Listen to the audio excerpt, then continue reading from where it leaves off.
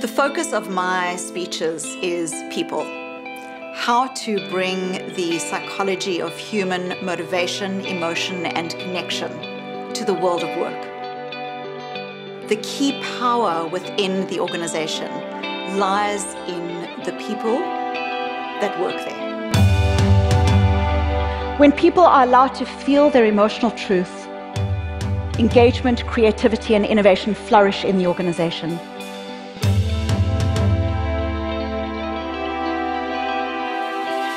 They recognize that if they can engage with and create real change in the individuals, that that in turn impacts on a team, it impacts on overall engagement, it impacts on culture, and it impacts on the ability of the organization to thrive.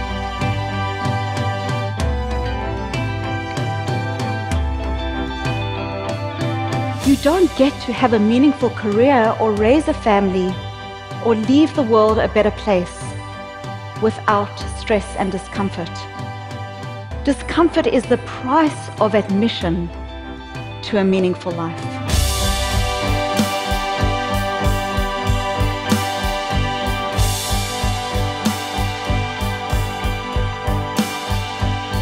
Why do I do what I do? Because I know it makes a positive difference to people, to the way they act and who they are as individuals.